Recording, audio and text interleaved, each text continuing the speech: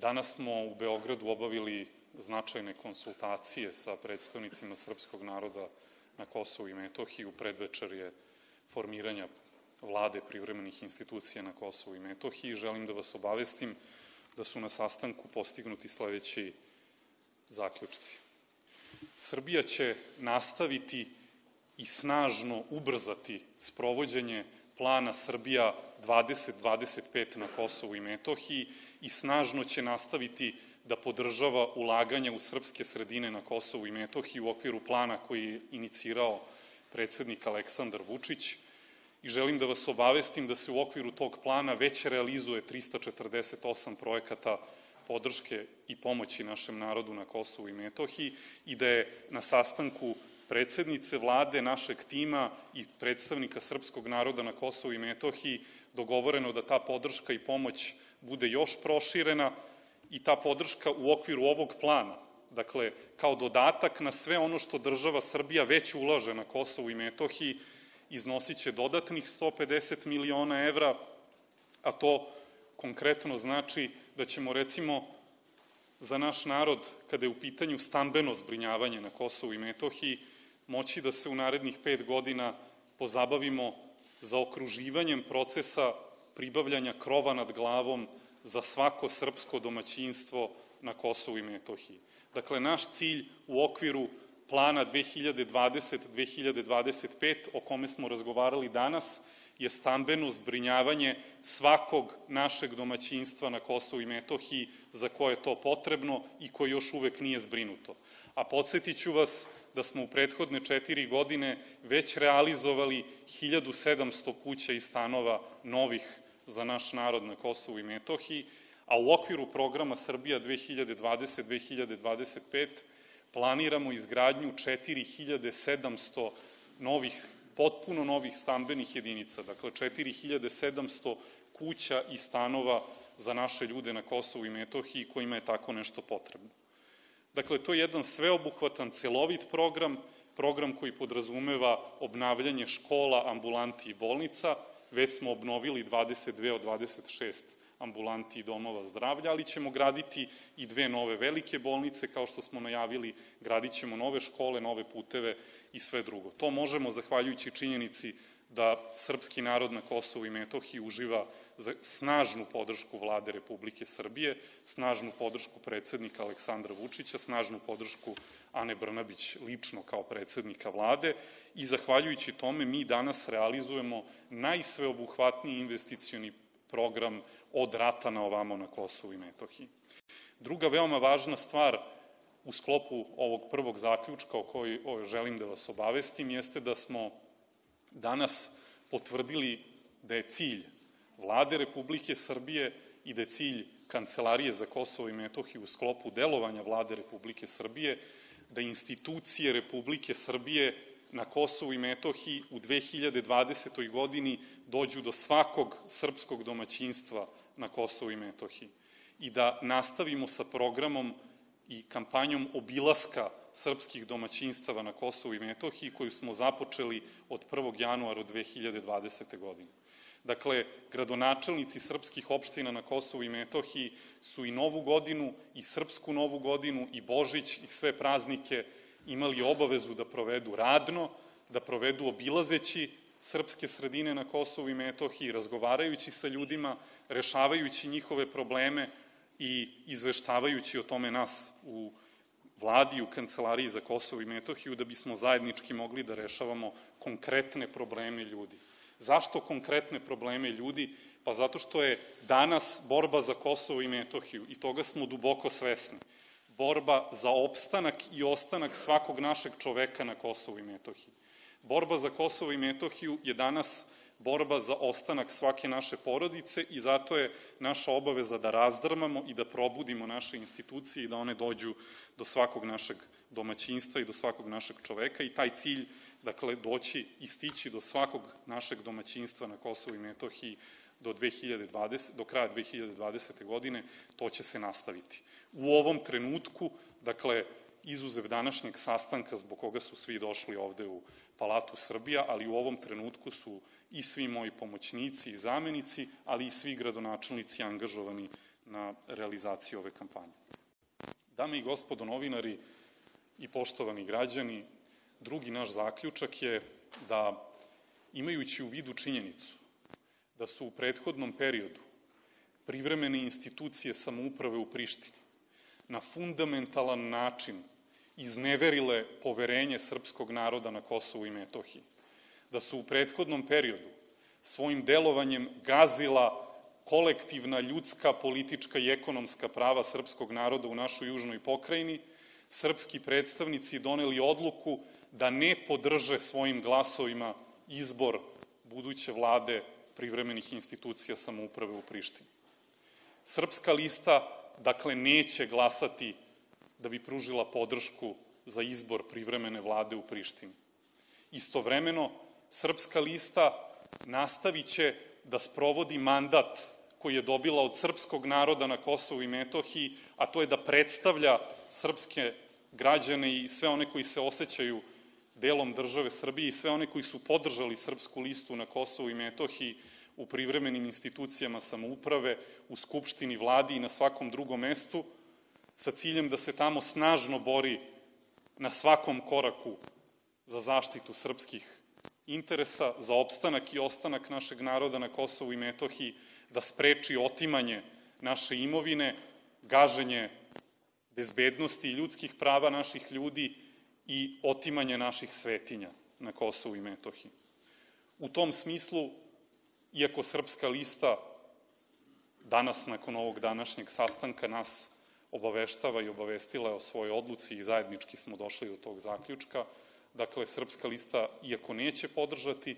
ovu vladu, to ne znači da ona neće razgovarati sa političkim predstavnicima Albanaca na Kosovu i Metohiji, ona će razgovarati sa ciljem zaštite bezbednosti i opstanka našeg naroda na Kosovu i Metohiji i sa ciljem da ti odnosi u budućnosti budu normalniji. To što je naše poverenje u prethodnom periodu gaženo i kako je gaženo, to danas kažemo jasno i glasno, a želimo da razgovaramo o tome na koji način da to bude bolje u budućnosti. I onaj ko bude želeo da zadobije poverenje srpske zajednice i srpskog naroda na Kosovu i Metohiji, koji danas nastupaju složno, moraće da pokaže da poštuje srpske predstavnike na Kosovu i Metohiji. Onaj ko bude želeo da zadobije podršku srpskog naroda i srpskih predstavnika na Kosovu i Metohiji moraće da, pokuša, moraće da pokaže da neće gaziti srpske osnovne ekonomske, političke i bezbednostne interese i siguran sam da će o tome razgovori u narednom periodu biti vođeni i biti sadržajni i intenzivni. Treći zaključak našeg današnjeg sastanka, na koji smo posebno ponosni, je da će srpski politički predstavnici na Kosovu i Metohiji nastaviti da sve svoje odluke o budućem političkom delovanju, o učešću u institucijama donose u konsultaciji i uz dogovor sa svojom državom Srbijom. Dakle, u konsultacijama sa predsednikom Republike, u konsultacijama sa predsednicom vlade, sa predstavnicima državnih institucija. Ali isto tako da će državne institucije Republike Srbije svoje odluke o Kosovu i Metohiji, o našem delovanju u međunarodnoj zajednici, o našem delovanju na terenu, donositi u konsultacijama i u dogovoru sa predstavnicima srpskog naroda na Kosovu i Metohiji. Mislim da je i današnji sastanak odraz našeg nastojanja da delujemo i prema spolja i prema unutra jedinstveno, onako kako moramo da delujemo zato da bismo opstali i ostali u ovim teškim okolnostima. Želim na kraju, pre nego što dam reč mom prijatelju Goranu Rakiću, da se zahvalim i vama što izveštavate u nedelju sa ovog sastanka i da vas zamolim da prenesete zaista celoj Srbiji da su srpski predstavnici na ovom teškom zadatku i u ovom teškom poslu odbrane srpskih interesa i danas bili složni, da su pokazali visok stepen rešenosti da se za srpske interese bore, da su svesni nepovoljne političke klime u našoj južnoj pokrajini,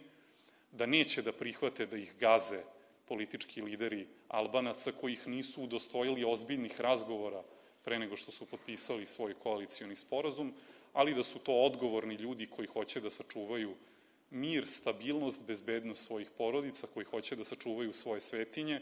i koji ne zatvaraju vrata dijalogu o budućnosti, ne, nadamo se, nekih normalnih odnosa. Mislim da je veoma važno da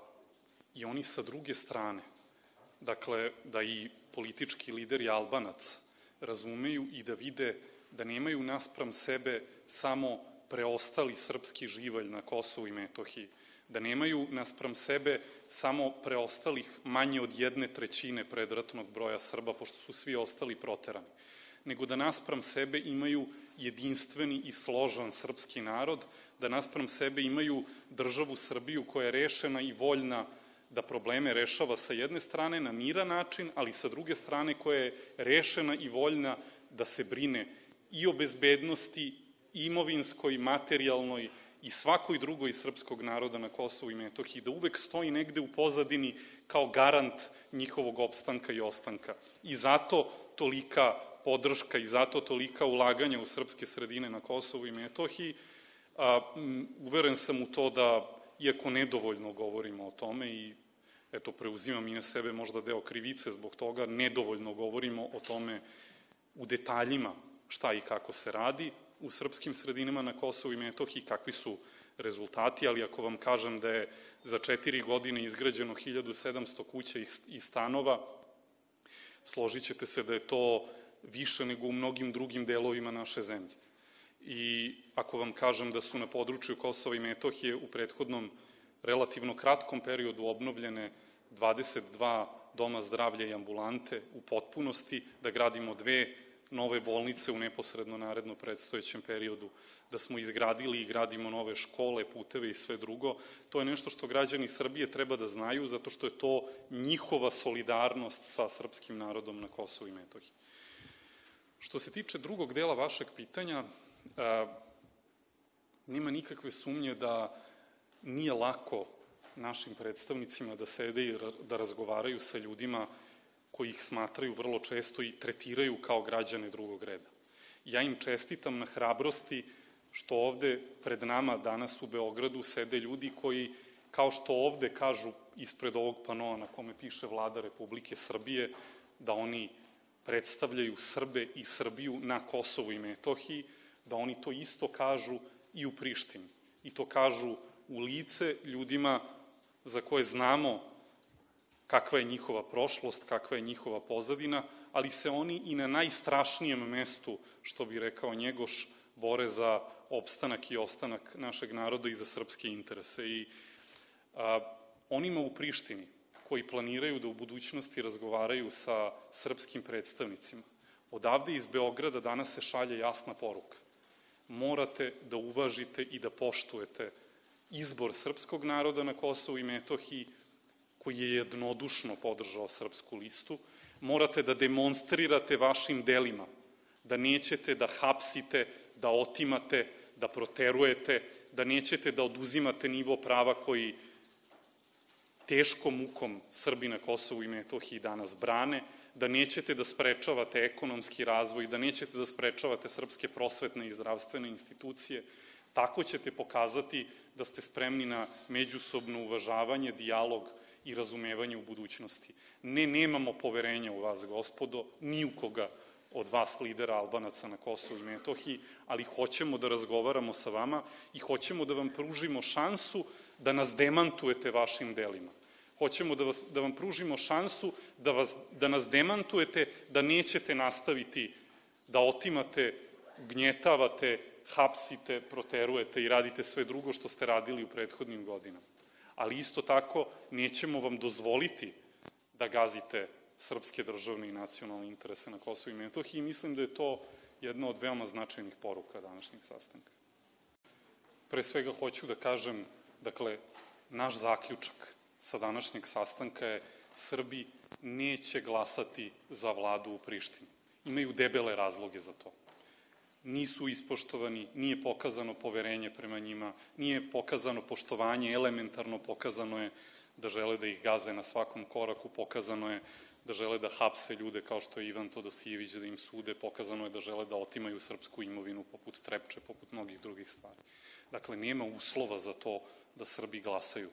Istovremeno, Srbi će učestvovati u institucijama u Prištini i sprovešće mandat koji su im dali Srbi na Kosovu i Metohiji da bi zaštitili njihovu bezbednost, da bi zaštitili njihove ekonomske interese, svetinje i sve ostalo. Šta to znači konkretno? Pa vrlo jednostavno. Ne želimo da na pozicije koje su, kako ste rekli, sami garantovane za predstavnike srpskog naroda, budu dovedene neke marionete albanskih separatista u Prištini, već će to da budu ljudi koji zaista predstavljaju srpski narod, odnosno srpsku listu. A što se tiče imena, kadrovskih rešenja i svega ostalog, pustite to sada. Hajde da prvo vidimo da li su Aljbin Kurti, Isa Mustafa i svi ostali spremni da pokažu elementarno poštovanje i uvažavanje prema legitimno ispoljenoj volji srpskog naroda, jesu li spremni da saslušaju na ozbiljan način šta su zahtevi srpske liste, šta su zahtevi vezani za opstanak srpskog življa na Kosovo i Metohiji, pa onda možemo da razgovaramo o svemu ostalom. Ja sam upravo rekao, dakle, srpska lista za tu vladu neće glasati, ona ne podržava tu vladu, nije pokazano elementarno uvažavanje. Istovremeno, srpska lista je dobila mandat od Srba sa Kosova i Metohije da se bori za njih u institucijama,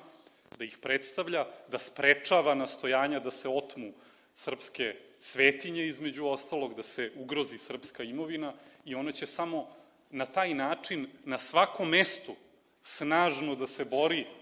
za srpske interese u institucijama u Prištini. Neće podržavati tu vladu sve dok ne bude na jasan način pokazan promenjen odnos. A neće isto tako ni prepustiti pozicije rezervisane za Srbe ni u Skupštini, ni u vladi, ni na jednom drugom mestu. Oni bi to najviše voleli. Oni trljaju ruke. Nadaju se da bi to bio naš zaključak, pa da onda mogu da guraju kroz Skupštinu i zakon, recimo, o otimanju svetinja poput onog koji je već u jednoj nama susednoj državi usvojen i tome slično. Dakle, nećemo im taj luksuz omogućiti. Mislim da sam vrlo jasno odgovorio na to pitanje i hoću da kažem samo da nas čeka teška borba. A, a hoću da, evo, možda i nepozvan, prokomentarišem i ovo što je, o čemu je govorila malo pre gospođa Tatalović. Dakle, i to sad hoću da kažem kao podpredsednik Srpske napredne stranke. Dakle, hoću da vam kažem, znate,